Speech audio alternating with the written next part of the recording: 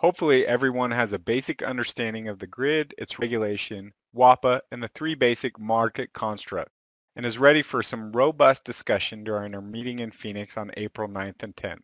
This final summary module will provide a brief overview of some of the electricity market concepts that we discussed in this material today. It is generally believed that a market that is structured well, functions well, and is independent of market manipulation will result in more efficient operation of the electric grid. This is because a well-functioning market will allow for more efficient utilization of existing assets.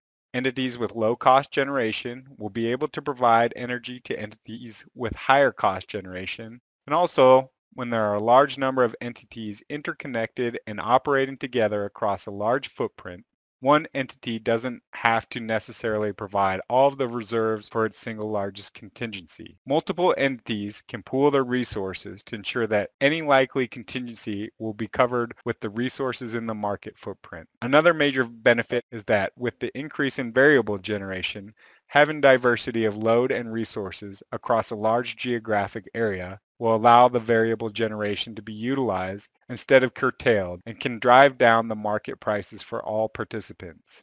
In addition, RTOs provide for more efficient planning of the grid since there is one entity that can oversee all of the components within a large geographical area.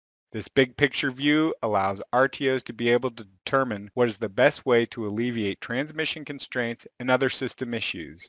Without this big picture view, there are just a bunch of different entities trying to figure out what is best for them and what is best for them might not be best for the system. Finally, markets provide much better transparency into wholesale market pricing since the day-ahead and real-time prices are continually updated and posted. To briefly summarize the three constructs that we discussed today. All of these markets constructs are in play across the U.S. and it is important to understand the distinction between the three constructs.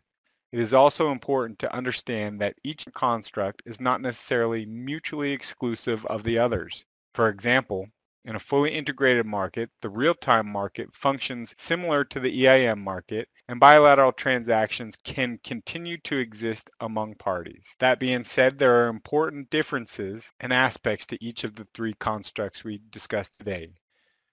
For a bilateral market, as a reminder, it's typically a contract between two vertically integrated utilities and the utilities make the generator fleet dispatch decisions within their balancing authority areas and the balancing authority operators handle all of the balancing within the geographic area. In an EIM, much of the bilateral contract remains, but there is an extra layer on the cake, so to speak. In an EIM, SCED is used to settle the difference between scheduled generation and load and actual generation and load. The primary benefit of this market structure is that all market resources operate at the economical efficiency point across the footprint and more competition among the generators should lower the price for spot energy across the market. Finally, as a reminder, a fully integrated market pretty much rolls everything together and lets the market operator control the generation, load, and transmission and allows the market to solve for the most efficient generation to serve the load across the market footprint given any transmission constraints in both the day ahead and real time.